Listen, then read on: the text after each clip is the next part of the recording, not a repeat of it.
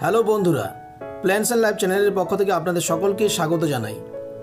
আমরা সকলেই জানি গাছ আমাদের পরম বন্ধু, আর গাছের উপকারিতার কথা আমাদের সকলের জানা।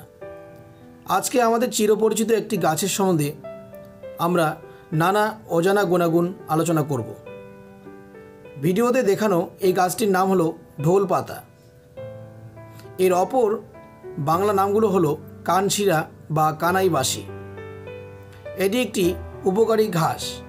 কানশিরার ইংরেজি প্রচলিত নামগুলো হলো Bengal day flowers, tropical spider wort ও ওয়ান্ডারিং জিউ এবং এর বিজ্ঞানসম্মত নাম হলো কামেলিনা বেঙ্গালেন্সিস। এই ঘাসটি সারা বছর দেখতে পাওয়া যায়। এর ফুলের রং ঘন নীল। ভারতবর্ষ, বাংলাদেশ, নেপাল, চীন, প্রায় সব দেশেই এটি একটি আগাছা। ভারতবর্ষ বাংলাদেশের ধান খেতে এটি একটি সাধারণ আগাছা। তবে আগাছা হলেও এটিকে বিভিন্ন জায়গার মানুষ শাক হিসেবে খেয়ে থাকেন। এছাড়াও কানছিরা বা ঢোলপাতা ঔষধি ঘাস হিসেবে বেশ পরিচিত। এটিকে ডাই ডাইইউরেকটিক, ফেব্রিফিউজাল ও অ্যান্টি ইনফ্ল্যামেটরি হিসেবে মনে করা হয়। চীন দেশে এটিকে মেডিসিনাল হার্ব হিসেবে নানা কাজে ব্যবহার করা হয়।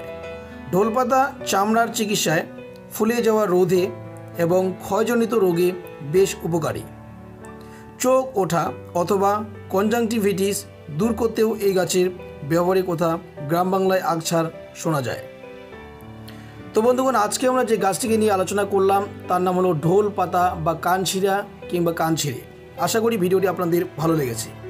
প্ল্যান্স অ্যান্ড লাইফ চ্যানেলের পক্ষ থেকে আপনাকে অনেক অনেক ধন্যবাদ। ভালো থাকবেন সুস্থ থাকবেন।